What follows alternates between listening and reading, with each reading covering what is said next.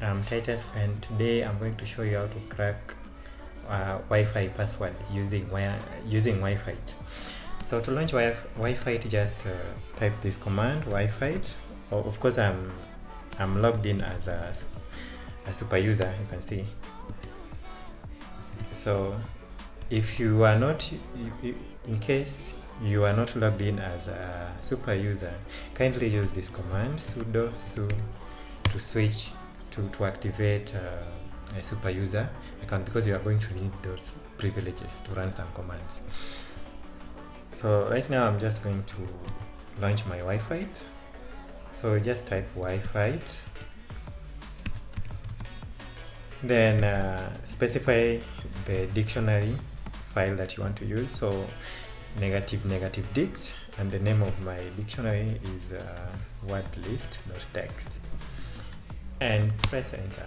And it's going to launch Wi-Fi and scan for any wireless. So as you can see it is scanning for uh, wireless access points. We have wireless 39 which has 12 clients connected and it has the strongest signal as you can see. It is the at the top. And uh,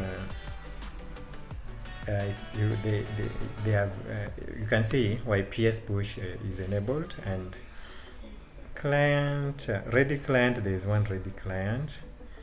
So what I'm going to do is I'm going to stop the scan using control C and we are going to attack wireless 39 so here because it is number one here I'm going to uh, put number one there but you can add up to you can see here we have seven targets and you you can separate the target numbers by commas so that if you finish attacking one target you can always move to the next one and the next one. But now save on time and because this is just for demonstration and for educational purposes i'm going to use just one. So that is wireless 39 and press enter. It's going to try some attacks like right now we are we are doing uh, there's this attack called pixies pixie dust and it has failed as you can see. It's it has moved to the next attack which is uh, null pin which has also failed so it is now using pin attack. Actually null pin is when uh, your wi-fi does not have any i mean the access point is not protected at all so you can just connect. And now pin attack trying a pin attack and you can see the access point is locked. So pin attack has failed. It is moving on to this next attack trying to capture PMKID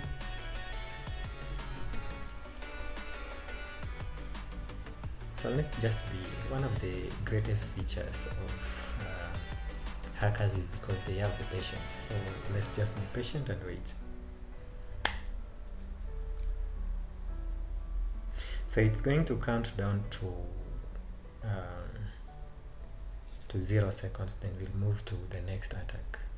Fingers crossed let's wait. So the P- PKMI, PMKID capture also failed so it's going to move to the next attack which is YPA handshake um, capture. So that is when it's going to deauth the clients when they are trying to reconnect it's going to try to capture handshake. And that is the handshake that we're going to that handshake is saved to a file and we're going to crack that handshake to get the password. So you can see it captured an handshake here and it was saved to hs that handshake there. And uh, this file is encrypted so we have to decrypt it using our word list so that we can expose the wi-fi password. So we to do that uh, we are using aircrack ng you can use this uh, setup separately or maybe you can use wi-fi which includes all of them. So the capture is capture the, the capture is done using tshark. Then it is saved to a file. Then cracking the handshake we are using aircrack ng and the word list that i specified is word list.txt okay and you can see here it, it successfully found a match for the password. And you can see a cracked IP handshake and password in plain text is this. AIS 2015 01 dollar sign. And the name of the access point is wireless 39 that is the MAC address.